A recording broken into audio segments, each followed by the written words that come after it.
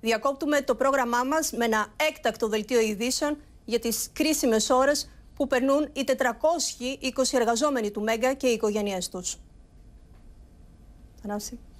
Σε λίγη ώρα λίγη η προθεσμία υποβολής αιτήσεων αδειοδότησης και οι μέτοχοι του Μέγκα πληροφόρησαν χθες τους εκπροσώπους μας ότι δεν προτίθενται να συμμετάσχουν στο διαγωνισμό. Δείτε το βίντεο με την ανακοίνωση των δημοσιογράφων, των τεχνικών και διοικητικών υπαλλήλων του σταθμού μας. Εμείς οι εργαζόμενοι του Μέγκα που απλήρωτοι κρατήσαμε ζωντανό το κανάλι επί 21 μήνες εκφράζουμε τη θλίψη και την οργή μας για την απόφαση των μετόχων να ρίξουν μαύρο στο Μέγκα.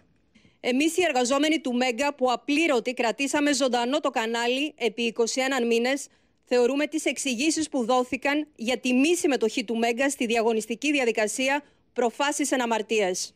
Εμείς οι εργαζόμενοι του Μέγκα που απλήρωτοι κρατήσαμε ζωντανό το κανάλι επί 21 μήνες και πετύχαμε να συγκεντρωθούν στις τράπεζες από διαφημιστικά έσοδα 55 εκατομμύρια ευρώ, απαιτούμε από τους μετόχους του Μέγκα να ανταποκριθούν επιτέλους στις υποχρεώσεις τους.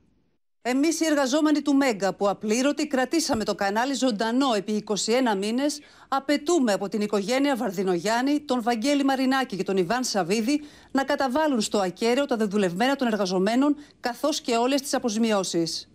Καλούμε κυβέρνηση, Υπουργείο Εργασίας και το Εθνικό Συμβούλιο Ραδιοτηλεόρασης να αναλάβουν τις ευθύνες τους απέναντι στις 420 οικογένειες των εργαζομένων του Μέγκα. Εμείς, οι εργαζόμενοι του Μέγκα, δεν πρόκειται να σταματήσουμε να αγωνιζόμαστε και δεν δεχόμαστε να γίνουμε βορρά στα επιχειρηματικά και πολιτικά σχέδια που παίζονται στην πλάτη μας. Κυρίες και κύριοι, λίγο μετά τις τρεις θα επανέλθουμε με νέα έκτακτη εκπομπή, ε, αναλόγως των εξελίξεων.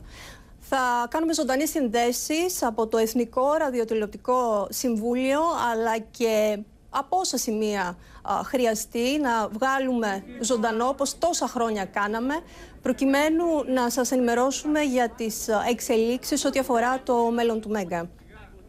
Ευχόμαστε να μην είναι αυτή η τελευταία εκπομπή του σταθμού και να τα ξαναπούμε στον αέρα με τους τηλεθεατές μας. Ας θυμίσουμε σε όλους τι είναι το Μέγκα. Οι εργαζόμενοι του Μέγκα θα πρέπει να σας πω ότι από χθες το απόγευμα όταν μάθαμε ότι το Μέγκα θα μείνει εκτός διαγωνισμού βρίσκονται εδώ, είναι συγκεντρωμένοι. Οι περισσότεροι μείναμε μέχρι τα ξημερώματα.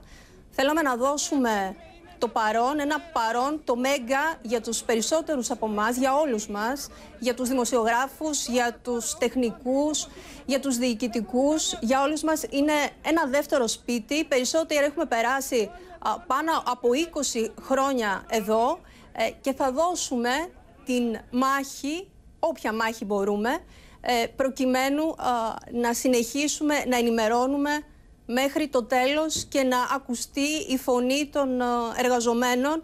Να σας πούμε ότι οι εργαζόμενοι του Μέγκα παραμένουν απλήρωτοι εδώ και 21 μήνες.